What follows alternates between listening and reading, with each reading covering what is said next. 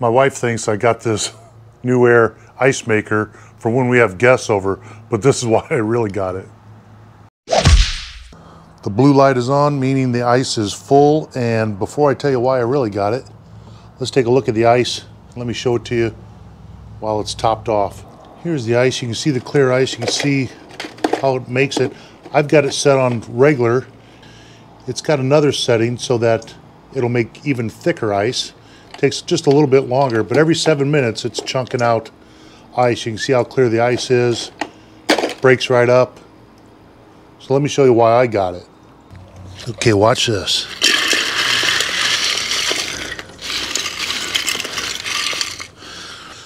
I wanted this ice maker for the beach cooler. This is going to make me supplying everybody at the beach with cold drinks a lot easier. I'm going to tell you why. Our home refrigerator ice maker just does not cut it. So let me show you here. Usually what I used to do is I'd pull this out and I'd take that ice and I'd use it. The only thing is, it takes about 24 hours to fill this thing up. So if I burn this in the cooler for the beach, then we don't have any ice for home, at least for a few hours.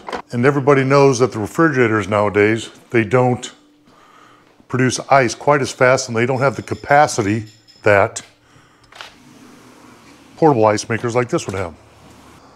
So let me show you a close-up of the NewAir, and this is the 40 pound ice maker. So in a day's time, it'll make 40 pounds. This chunks out ice every seven minutes.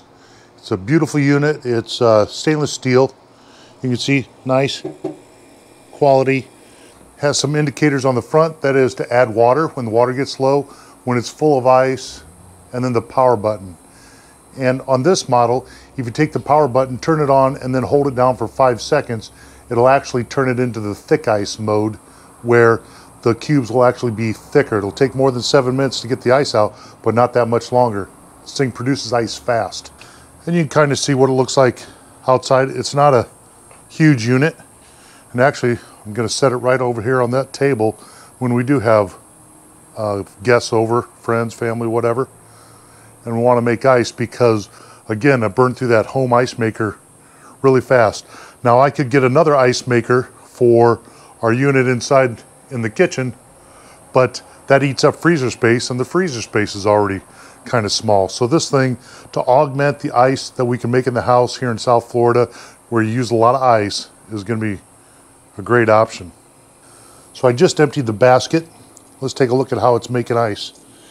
And you can see this water bar here is the water goes through there, it comes out the holes, it runs over these refrigerated, frozen, see it's already, it's already freezing here.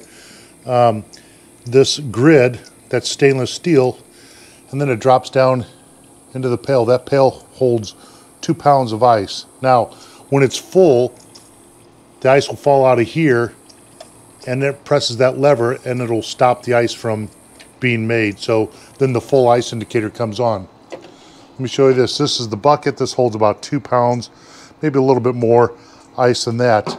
Over here, it's got a return area, a little sump. And what's cool about this unit is when the ice melts or gets any water in there, it actually recirculates and makes more ice out of it. So you always have fresh ice. You'll never have to worry about opening this thing up and finding a puddle of water.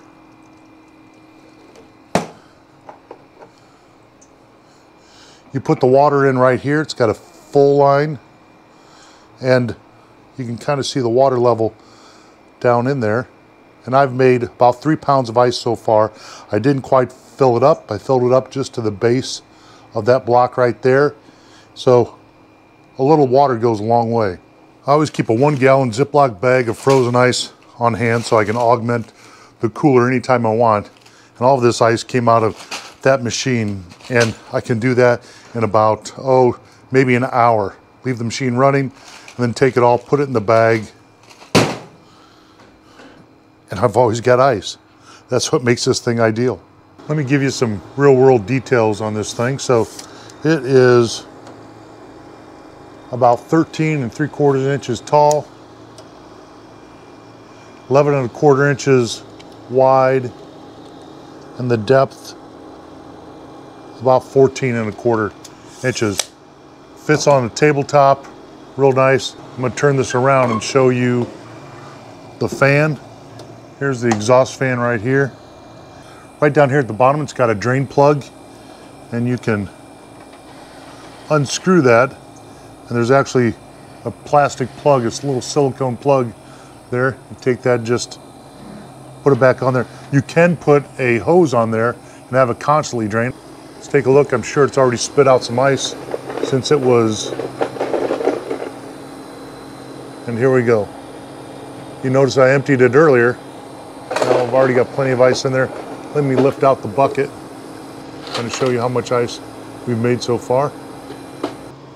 This is going to be handy at home for events and whatnot, but what I'm looking for really is making my preparation for the beach trips uh, a lot easier. So I'm going to put this on my Beach Pro list.